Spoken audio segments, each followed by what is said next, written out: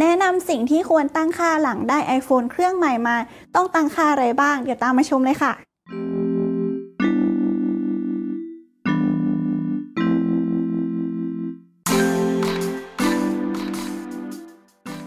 วัสดีค่ะ หลังจากที่เราได้รับ iPhone มาใหม่ ไม่ว่าจะเป็นการซื้อเครื่องใหม่ หรือว่าได้รับ iPhone เป็นของขวัญคริสต์มาสหรือปีใหม่นะคะ อย่างแรกที่เราต้องทำก็คือการตั้งค่า iPhone ค่ะ ซึ่งคลิปนี้นุงนีจะมาแนะนำการตั้งค่าต่างๆ ที่สำคัญ เมื่อเราได้ iPhone มาใหม่เนี่ย เราต้องตั้งค่าอะไรบ้าง เดี๋ยวตามมาดูข้อแรกกันเลยค่ะ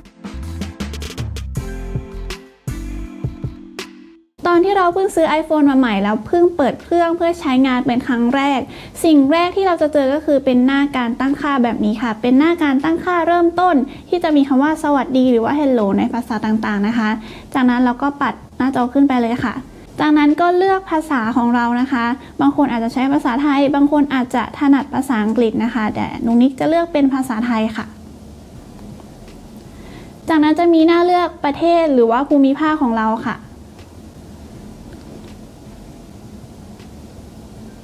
จากนั้นแตะตั้งค่าด้วยตนเองค่ะ เลือกเครือข่าย Wi-Fi เมื่อเชื่อมต่อ Wi-Fi เสร็จแล้วนะคะ ก็แตะถัดไปเลยค่ะ เพราะว่าการตั้งค่าต่อไปจะต้องใช้ Wi-Fi หรือว่าอินเทอร์เน็ตนั่นเองค่ะ แต่ดำเนินการต่อ ใน iPhone รุ่นใหม่เนี่ยก็มาพร้อมกับการสแกน Face ID หรือว่าสแกนใบหน้าเพื่อปลดล็อก iPhone แล้วก็ทำสิ่งต่างๆนะคะ เราสามารถตั้งค่าได้ตั้งแต่ตอนนี้ แต่เดี๋ยวนุกนิกจะข้ามขั้นตอนนี้ไปก่อนนะคะ เราสามารถตั้งค่าทีหลังได้ค่ะ จากนั้นก็ให้ใส่รหัสปลดล็อก iPhone ของเราค่ะพอมาเจอหน้านี้นะคะจะเป็นหน้าแอปและข้อมูลค่ะ ถ้าคนที่เป็นผู้ใช้ iPhone เก่า แล้วก็มี Apple ID อยู่แล้ว แล้วเคยสำรองข้อมูลเข้าไปไว้บน iCloud นะคะ ก็สามารถแตะที่อันแรกได้เลยค่ะ แต่ที่กู้คืนจากข้อมูลสำรอง iCloud แต่ว่าคนที่ไม่เคยใช้ iPhone มาก่อน หรือว่าไม่มีการสำรองข้อมูลไว้ให้แตะตรงนี้ค่ะ ไม่ถ่ายโอนแอปและข้อมูลค่ะ หรือถ้าใครย้ายมาจาก Android แล้วเพิ่งใช้ iPhone ครั้งแรกนะคะ ก็แตะตรงนี้ได้เลย แต่ตรงนี้จะแตะตรงนี้ค่ะ จากนั้นก็จะมีการให้เราใส่ Apple ID นะคะสำหรับคนที่มี Apple ID อยู่แล้วก็สามารถใส่ไปได้เลย แต่ถ้าใครที่ยังไม่มี Apple ID เป็นของตัวเองก็แนะนำให้สมัครไว้ก่อนนะคะ เพราะว่าเราจะต้องใช้ Apple ID ในการเข้าใช้งาน iPhone ค่ะ ถ้า Apple ID ของเรามีการเชื่อมต่อกับอุปกรณ์ Apple อื่นๆนะคะ ก็จะมีหน้านี้ขึ้นมาค่ะ แต่ถ้าเราไม่อยากตั้งค่าให้มันเหมือนเครื่องอื่น ก็ให้แต่ที่กำหนดการตั้งค่าเองค่ะ ในการตั้งค่า Siri นะคะ เราสามารถตั้งค่าได้ตอนนี้ หรือว่าตั้งค่าภายหลังก็ได้ค่ะ เดี๋ยวนุนี้จะสาธิตในการตั้งค่าภายหลังให้นะคะ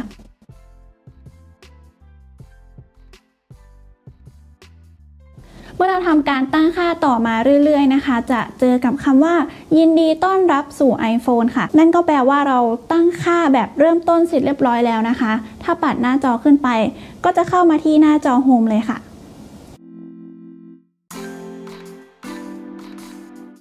อย่างแรกที่นุนีอยากจะแนะนำให้ตั้งค่าก็คือให้ตั้งชื่อ iPhone ของเราค่ะ ให้เข้าไปที่การตั้งค่านะคะ จากนั้นค่ะ แต่ที่ทั่วไป แต่ที่เกี่ยวกับค่ะ ก็จะเห็นคำว่าชื่อ iPhone ตอนนี้เป็น iPhone ของนุกวีนะคะ เราสามารถตั้งชื่อ iPhone เป็นของตัวเองได้ ในเวลาที่เราส่ง AirDrop ไปหาเพื่อนเนี่ย เพื่อนก็จะรู้ว่ารูปหรือว่าไฟล์อันนี้มาจาก iPhone ของเราค่ะ เมื่อตั้งค่า iPhone เสร็จแล้วนะคะ เราก็จะได้ชื่อ iPhone ที่เป็นของเราเองค่ะ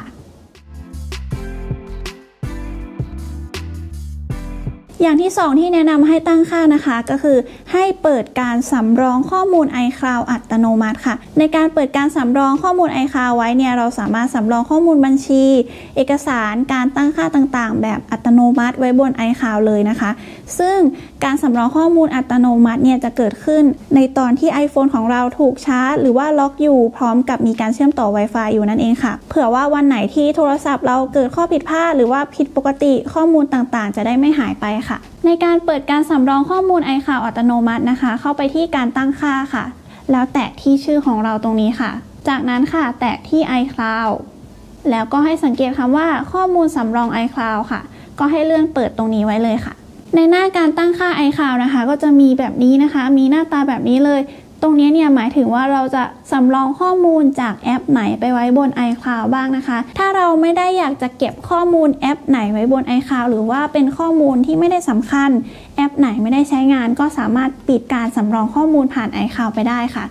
อย่างเช่นนุงนี้ไม่ได้ใช้แอปบ้านหรือว่าแอปหุ้นนะคะนุงนี้ก็จะปิดใช้งานไปเลย เพื่อที่จะให้พื้นที่ iCloud ของเราเนี่ยมีเหลือพอจะเก็บข้อมูลอื่น ๆ นั่นเองค่ะ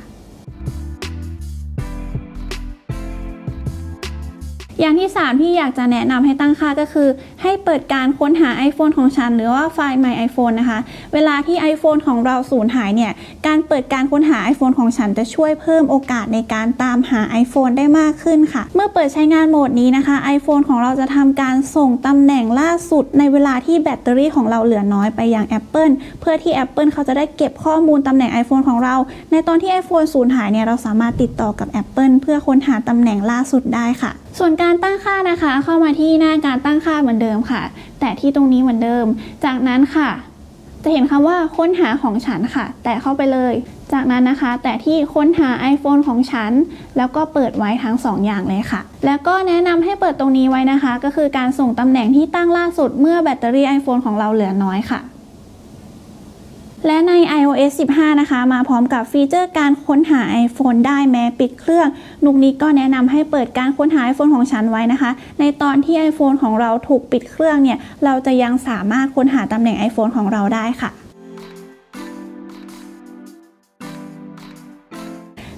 คำแนะนำที่ 4 ค่ะ คือให้ตั้งค่า Face ID นะคะ ใน iPhone รุ่นใหม่ๆเนี่ยก็มาพร้อมกับ Face ID อยู่แล้วค่ะ ให้เราเข้าไปที่หน้าการตั้งค่าเหมือนเดิมนะคะ แล้วก็แตะที่ Face ID และรหัสค่ะ ใส่รหัสของเครื่องเราเข้าไป จากนั้นค่ะ ให้แตะที่ตรงนี้ค่ะ ตั้งค่า Face ID แล้วก็ทำการเพิ่มใบหน้าได้เลยค่ะ หลังจากเพิ่มใบหน้าเสร็จเรียบร้อยแล้วนะคะ ก็แตะที่เสร็จสิ้นค่ะ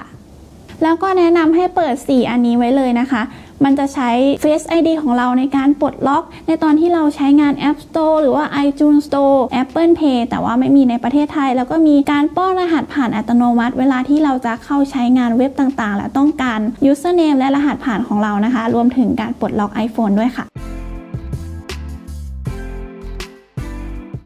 ต่อไปค่ะนุงนี้แนะนำให้ตั้งค่า Siri ด้วยค่ะ เราใช้ iPhone ยังไงเราก็ต้องใช้ Siri อยู่แล้วนะคะ เพื่ออำนวยความสะดวกในตอนที่เราไม่สามารถใช้งาน iPhone ได้ แต่สามารถสั่งการด้วยเสียงได้นั่นเองค่ะ เข้ามาที่การตั้งค่าเลยค่ะ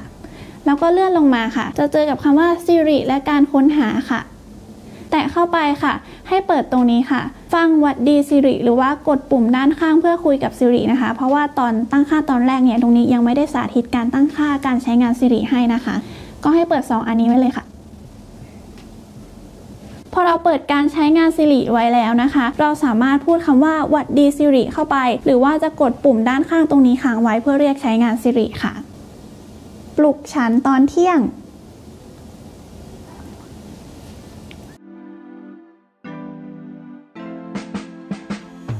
ละค่ะ ในตอนนี้จะเห็นว่าที่หน้าโฮมของ iPhone เครื่องนี้เนี่ยไม่ค่อยมีแอปอะไรนะคะ มีเฉพาะแอปที่ติดมากับเครื่อง ถ้าเราเคยใช้อุปกรณ์ Apple อยู่แล้วมี Apple ID อยู่แล้ว เราก็อาจจะเคยซื้อแอปกันไว้บ้างนะคะ ให้เข้าไปที่ App Store ค่ะ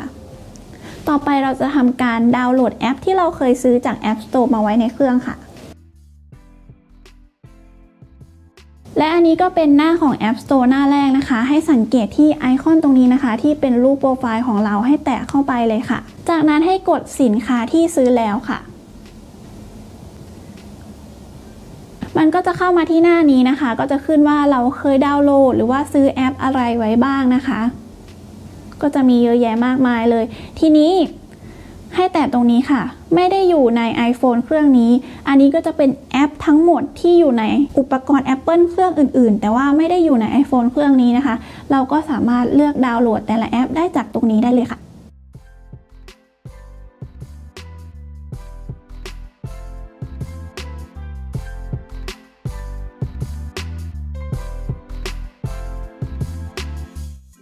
ต่อไปค่ะ นุกนิกแนะนำให้เปิดการตั้งค่า iMessage ไว้นะคะ เพราะว่าการเปิด iMessage ไว้เนี่ย จะช่วยให้เราสามารถส่งข้อความหาเพื่อนๆ ที่ใช้ iPhone เหมือนกันได้แบบฟรีๆ ได้เลยค่ะ ให้เข้าไปที่การตั้งค่านะคะ เพื่อเช็คดูว่าเราได้เปิด iMessage ไว้หรือเปล่า แต่ที่ข้อความค่ะ ถ้าเปิดไว้อยู่แล้วก็สามารถใช้งาน iMessage ส่งข้อความหาเพื่อนที่ใช้ iPhone เหมือนกันแบบไม่ต้องเสียเงินได้เลยค่ะ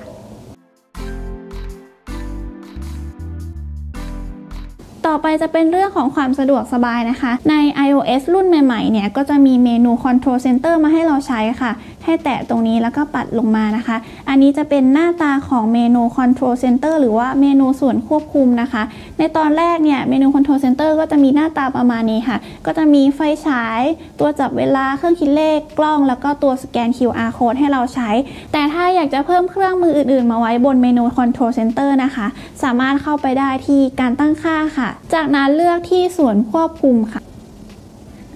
ที่หน้านี้นะคะ ด้านบนที่เห็นตรงนี้นะคะ จะเป็นสิ่งที่เรามีอยู่แล้วในเมนู Control Center นะคะ ส่วนด้านล่างเนี่ยเราสามารถเลือกเพิ่มได้ตามต้องการเลย อย่างเช่นนูนิกจะชอบใช้อันนี้บอกชื่อเพลงด้วยแอปชาแซมนะคะ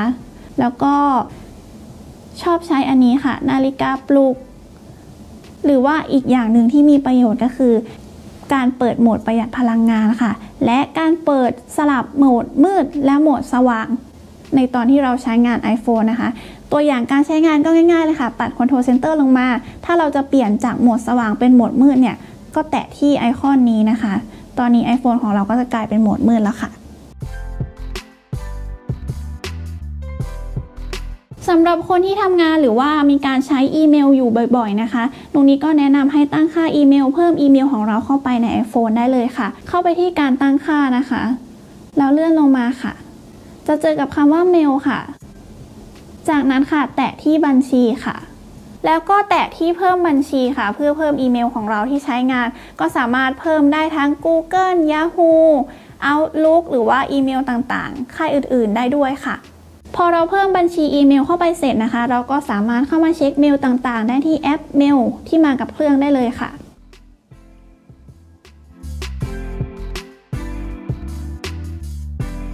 สำหรับ iPhone ที่มีแบตเตอรี่น้อยอย่างเช่น iPhone 13 mini เครื่องนี้นะคะนุงนี้ก็แนะนำให้เข้าไปตั้งค่าบางอย่างที่อาจจะทำให้ iPhone ของเราใช้พลังงานลดลง เพื่อที่จะมีแบตเตอรี่เหลือใช้ได้ทั้งวันนะคะ อย่างแรกที่แนะนำก็คือให้เข้าไปปิด Background App Refresh หรือว่าการดึงข้อมูลแอปจากเบื้องหลังค่ะ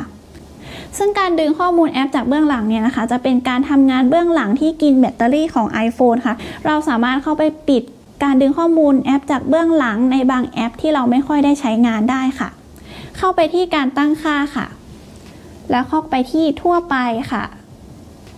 จากนั้นนะคะจะเห็นค่ะว่าดึงข้อมูลแอปจากเบื้องหลัง เราก็เลือกปิดเฉพาะแอป ที่เราไม่อยากจะให้เกิดการดึงข้อมูลในตอนที่เราไม่ได้ใช้งานนะคะ อย่างเช่น แอปหนังสือ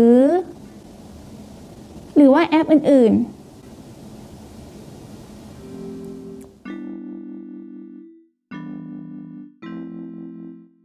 ต่อไปจะเป็นเรื่องของหน้าจอนะคะ จะเกี่ยวกับการปรับความสว่างอัตโนมัติของหน้าจอนั่นเอง ซึ่งคุณสมบัติการปรับความสว่างอัตโนมัติเนี่ยจะใช้เซ็นเซอร์วัดแสงโดยรอบนะคะ เพื่อปรับความสว่างของหน้าจอให้เข้ากับสภาพแวดล้อมโดยรอบของเรา ซึ่งบางคนอาจจะไม่อยากใช้งานฟีเจอร์นี้นะคะ เพราะว่าอยากปรับแสงเอง บางทีเราไปอยู่ในสถานที่ที่มีแสงน้อยเนี่ย iPhone ก็จะรีแสงขึ้นมาจนแสบตาเลยก็ได้ ส่วนวิธีการตั้งค่านะคะ เข้าไปที่การตั้งค่าค่ะ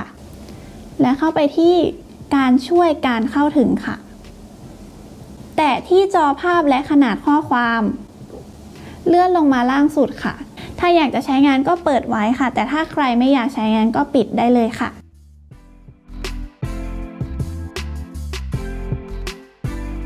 ในการตั้งค่าเสียงต่างๆของ iPhone นะคะ เข้าไปที่การตั้งค่าค่ะ แล้วก็แตะที่เสียงและการสั่นค่ะ ในหน้านี้เราสามารถตั้งค่าเสียงต่างๆได้นะคะ แต่สิ่งที่นุกนิกอยากจะแนะนำให้ลองไปเล่นกันก็คือ ถ้าเราอยากจะให้ iPhone ของเรามีเสียงกดแป้นพิมพ์ ก็สามารถเปิดตรงนี้ได้เลย แล้วก็ตรงนี้จะเป็นเสียงในการล็อกหน้าจอนะคะ ซึ่งเป็น signature ของ iPhone อยู่แล้ว ก็แนะนำให้เปิดไว้หรือว่าใครไม่ชอบก็เลือกปิดได้ตามใจชอบได้เลยค่ะ